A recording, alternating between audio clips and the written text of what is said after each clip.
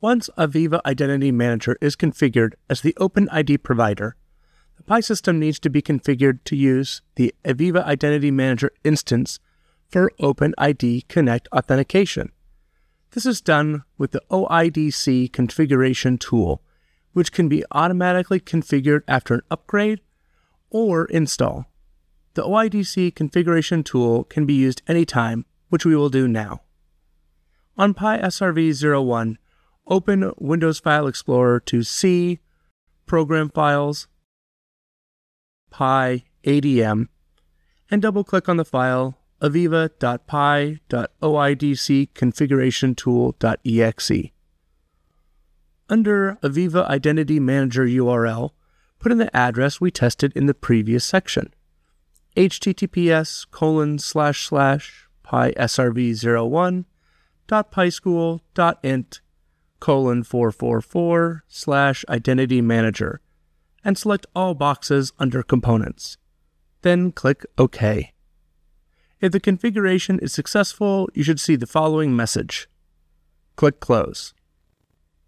To complete the configuration process, you will need to restart all affected services.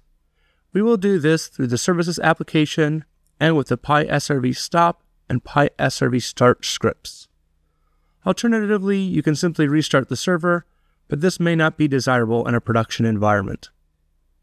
In the Windows File Explorer you have open to see program files PIADM, type CMD in the address bar to open an administrator command prompt.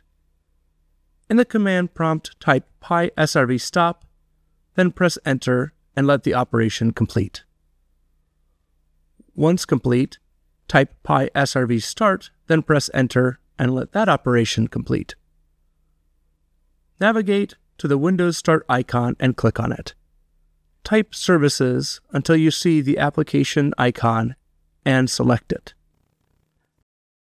In Services, look for the Pi Notification Service and right click it and select Restart.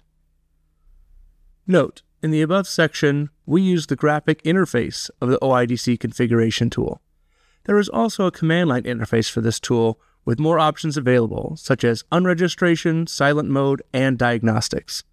For more information, see the documentation in the description.